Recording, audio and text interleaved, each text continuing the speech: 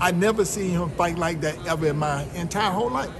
How could you? You got to know something got to happen. How many people forget all their skills? Hmm. And what and, and what all of a sudden forget everything. And so there's something got to something got something had to happen.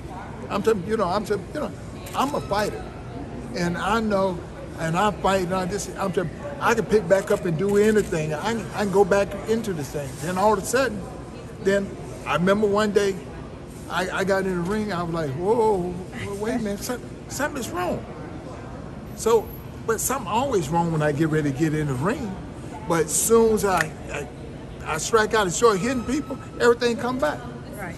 But then in this fight, my heart beat wouldn't even get high. I was like saying, I'm too calm. What, what in the world wrong? To find out that, you know what?